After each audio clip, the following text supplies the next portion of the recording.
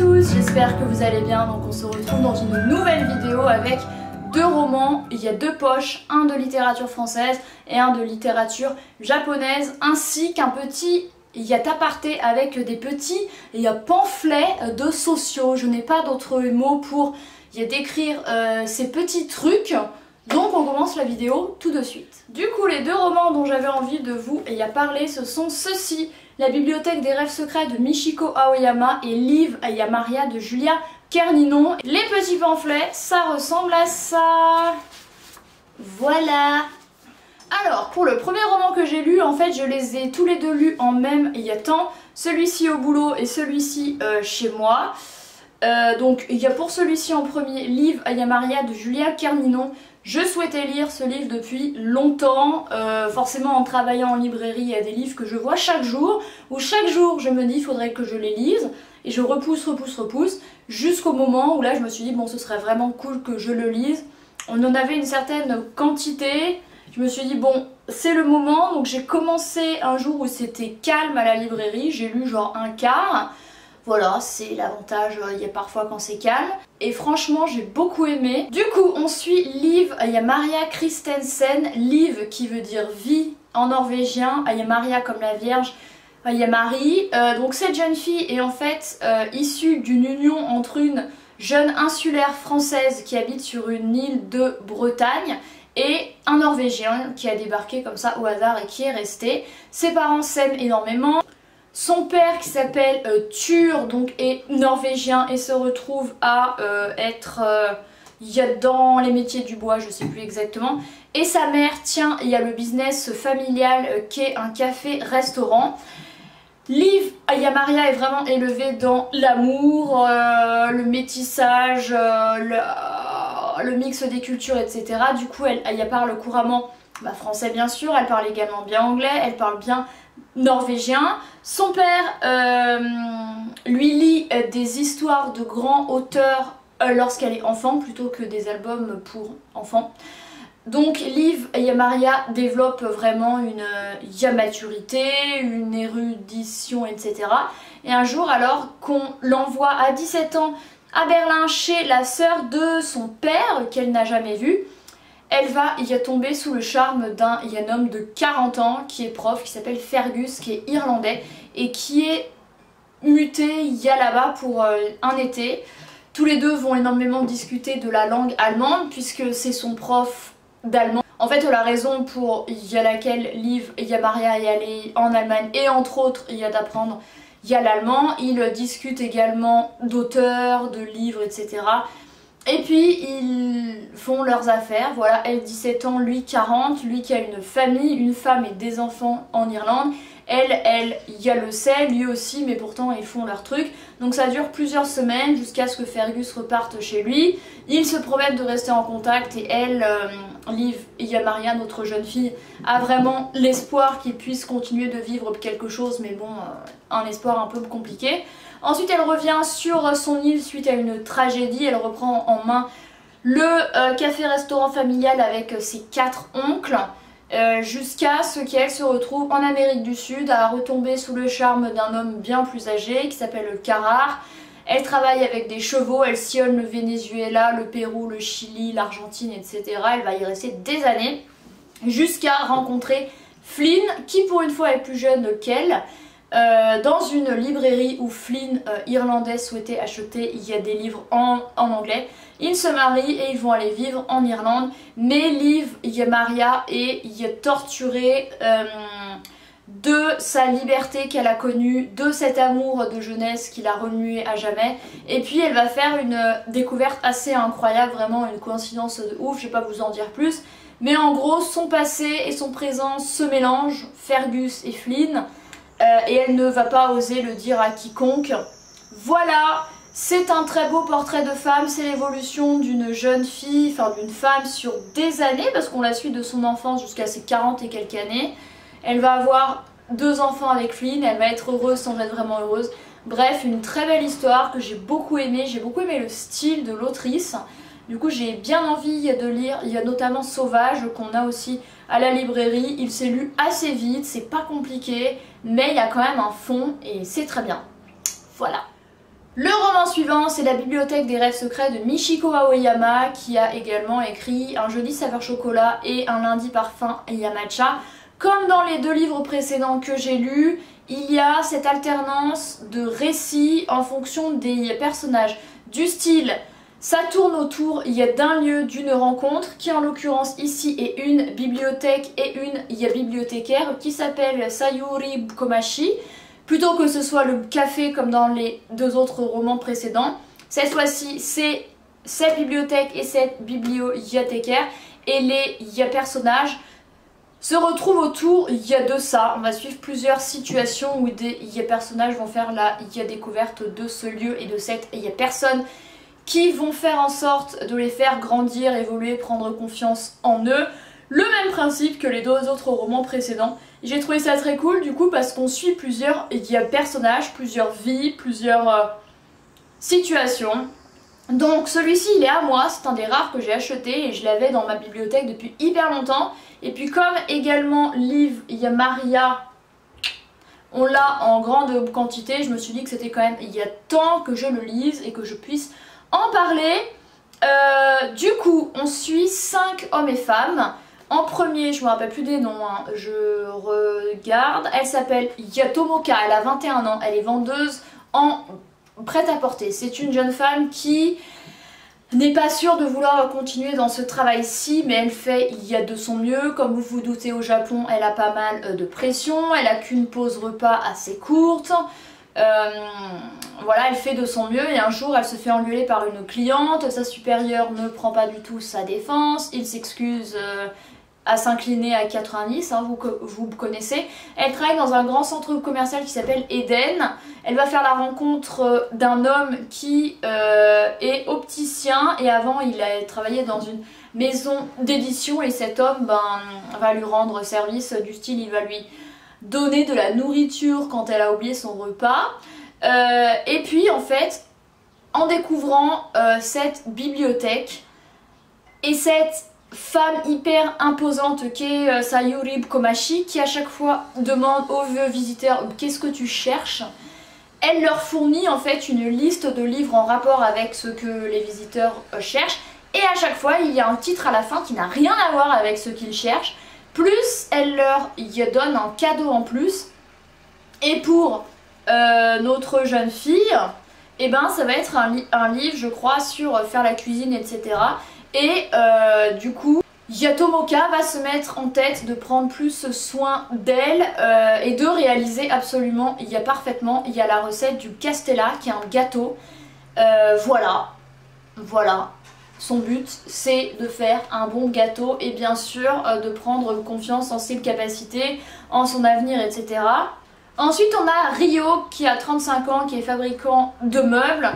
lui souhaite avoir sa propre boutique d'antiquité. Il fait son travail diligemment mais sans, passion. Il dit juste ça paye les factures mais c'est tout.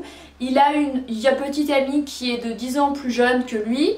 Elle, elle travaille à mi-temps en vivant chez ses parents et en y ayant sa propre marque de bijoux.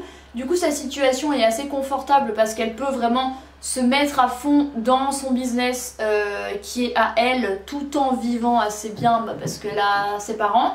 Lui est assez envieux et puis en fait en se rendant à la bibliothèque, il va découvrir en fait un article d'un homme qui est entrepreneur et qui a ouvert une librairie avec des chats et il va aller le voir et se rendre compte bah, qu'il y a plusieurs façons de faire euh, les choses, que cet homme est euh, salarié en semaine et entrepreneur le week-end, du coup qu'il travaille beaucoup, mais que euh, eh ben, sa situation est assez confortable et qu'il y a peu osé entreprendre tout en ayant un salaire à lui et qu'il a du coup deux rôles complètement différents qui sont un petit peu complémentaires, voilà. Ensuite, on va suivre euh, une femme, ça j'ai beaucoup aimé ce chapitre, Natsumi, 40 ans, qui est ex, est membre du service éditorial d'un Ya Magazine. Elle va euh, avoir un enfant avec un homme, oui, euh, mais c'est elle qui va quasiment tout faire, voilà, comme c'est courant. Alors, on se plaint un petit peu de la répartition, il y a des tâches euh, lorsqu'on a un, enfant en Occident, dites-vous qu'en Asie c'est bien bien pire, c'est la mère qui fait quasiment tout. Et ben c'est le cas du coup. Euh, en revenant de son congé, y a maternité. Elle est mutée dans un service qui ne l'intéresse, pas du tout avec des horaires adaptés. Du coup, ben, elle peut s'occuper de sa fille, mais son mari euh, se repose complètement sur elle. Elle est très fatiguée, forcément. Elle travaille à y temps plein. Elle revient, elle fait les tâches ménagères et elle s'occupe il y a de la gamine. Donc c'est pas évident et puis elle rêve bah, de euh, travailler elle pour une édition, une, il y a maison, il y a d'édition, il y a de livres, c'est vraiment ce qu'elle rêve, il y a, il y a de faire. Et c'est un chapitre j'ai trouvé assez engagé quand même sur euh, le sexisme et la misogynie et la place des femmes à la maison qui est très sexiste et un petit peu bah, une critique claire de la société japonaise avec euh, les hommes qui font que travailler, mais qui ne s'occupent guère il y a de leur enfant. Donc ça j'ai trouvé ce chapitre particulièrement intéressant et le fait qu'on ait cinq profils totalement différents, c'est vraiment très très bien. Et du coup, grâce euh, à la bibliothécaire, elle va découvrir un album pour sa fille qu'elle va trouver franchement bien et qui va lui donner l'idée euh, de changer euh, de voix et d'être heureuse. Voilà, c'est cool Ensuite, on a un jeune homme, comment il s'appelle déjà? Ah oui, ce que j'ai aimé aussi, c'est qu'elle fait la connaissance euh, du jeune homme là qui avait rendu service à notre première euh, jeune fille en lui donnant un onigiri. Et ben on le retrouve aussi, c'est ça qui est cool, c'est que les chapitres se croisent un peu avec des personnages qui peuvent se rencontrer. Ensuite, on a euh, Hiroya, 30 ans sans emploi. Il vit seul chez sa mère. Il l'aide un peu pour ne pas y apparaître comme le fainéant de service. Sa mère, euh, ça va, elle ne le secoue, n'y a pas trop.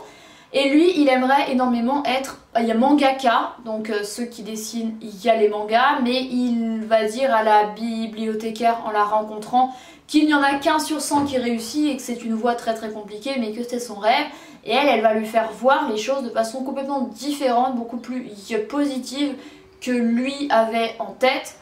Donc vraiment cette femme, euh, Sayuri Komashi, c'est vraiment l'épicentre du récit et c'est vraiment la figure y positive, vraiment trop cool du livre. Et euh, du coup, Hiroya va euh, prendre confiance en lui, il va retrouver un ancien camarade de classe qui lui rêve d'être écrivain et ils vont se soutenir l'un l'autre, donc c'est plutôt cool. Et notre dernier personnage, il est tout juste à la retraite, il s'appelle Masao, 65 ans, il a travaillé de 40 ans il y a dans la même entreprise. Et du jour au lendemain, il se retrouve à rien faire. C'est d'autant plus difficile pour les Asiatiques quand ils sont habitués à beaucoup travailler et que souvent ils travaillent des années durant il y a dans la même boîte, surtout ben, la vieille euh, génération. Sa femme est plus jeune, elle travaille euh, toujours du coup. Et elle va le pousser à prendre des cours. Il y a de Go. Euh, le Go, c'est une espèce de jeu comme euh, il y a les dames, un petit peu de façon similaire. C'est très connu en Chine, en Corée et au Japon. Lui, il va un petit peu à reculons et en fait, pour euh, s'améliorer au Go, il va se rendre à la bibliothèque pour avoir des conseils. Et grâce à notre fameuse bibliothécaire, elle va lui faire voir les choses de façon différente.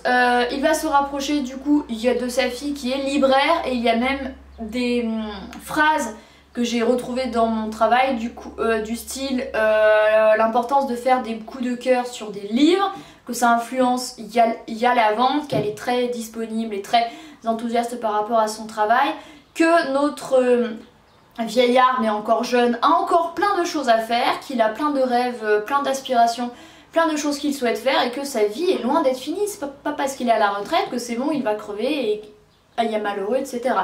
Donc voilà, j'ai beaucoup aimé ce euh, roman qui est qui n'est, il n'y a pas non plus tout beau tout rose, hein. il y a vraiment des situations quand même assez difficiles, mais cette figure euh, qui est la bibliothécaire, ben leur euh, donne à tous ces personnages ben, de l'espoir, de la confiance en eux y a dont ils il y a manqué cruellement, et c'est trop cool, voilà j'ai beaucoup aimé ce livre là et je vous conseille tous les autres livres de l'autrice. Et ensuite, je vais vous présenter cette petite collection de livres. Alors, ce sont des petits, comme je vous ai dit, enfin comme j'ai appelé ça, des pamphlets. Je sais pas comment on appelle ça, c'est microscopique, ça vaut 3,50. C'est publié aux éditions Alt et c'est de la sociologie. La socio qui est mon rayon à la librairie, que je ne lis que très très peu. Et quand on a reçu ça, je me suis, dit, ben vas-y, c'est l'occasion d'aller y jeter un œil. On a plein de sujets complètement différents. Il y a par exemple, j'ai lu celui-ci, Être féministe, pourquoi faire de Camille Froidevaux. Métairie, ça c'est le seul que je n'ai pas encore lu. C'est Faut-il en finir avec les contes de fées de Jennifer Yatamas? On en a un sur le droit de changer d'avis, un sur euh, le vote, un sur être heureux avec il y a moins et la justice est-elle la même pour tous? Je les ai lus, du coup j'en ai, ai lu plusieurs un samedi où c'était calme. C'est hyper intéressant, à chaque fois c'est une figure euh, différente, donc on a des journalistes, on a des auteurs, on a des gens engagés et qui, grâce à, à des exemples, à un fond historique, à un fond social, il nous parle d'un sujet qu'il euh, creuse. Et c'est hyper intéressant par exemple sur euh, celui sur est-ce qu'il est? Être heureux avec moi Camille Froidevaux euh, Corinne Yamorel Darleux évoque vraiment et eh ben, l'aspect ben, que la terre on la surexploite qu'il faut faire des efforts au niveau de la consommation que les ultra riches et les influenceurs donnent le mauvais exemple au reste du monde, comme quoi, ben, il y a posséder absolument l'objet à la mode est nécessaire à notre y bonheur, etc. Mais que ça engendre une surconsommation absolument incroyable.